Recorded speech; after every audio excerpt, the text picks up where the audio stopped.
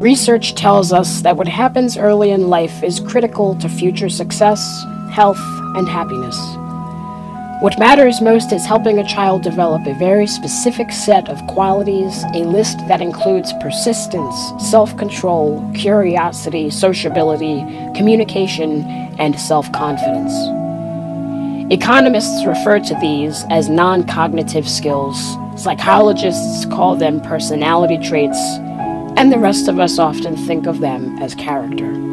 Play is essential to the healthy development of each and every child and lays the foundational skills for lifelong success in a world that is increasingly complex, competitive, and interconnected.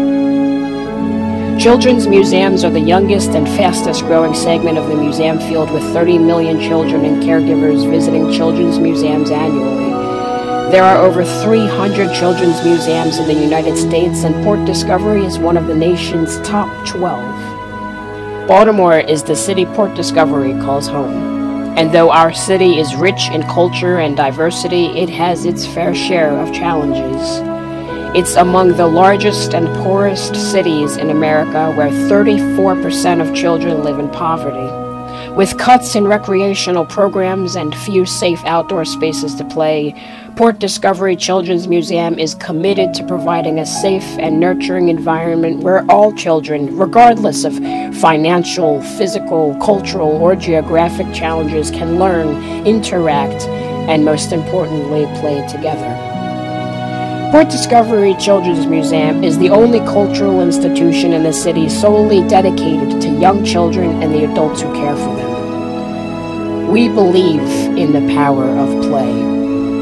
When children walk through our doors, we do not tell them to sit still. We invite them to touch and tinker, build and take apart and get messy.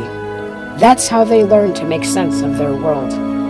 We focus on those who are most in need of purposeful play learning experiences, and the highest standards of inclusion and accessibility are woven into all aspects of our museum.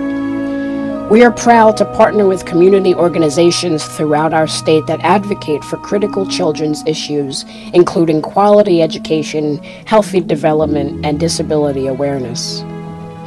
And when their visit ends, whether it is a family, scout troop, or school group, that's when the seeds of play are sown. From their port discovery experience, children discover new perspectives, acquire new skills, and develop a sense of wonder lasting long beyond the day's visit.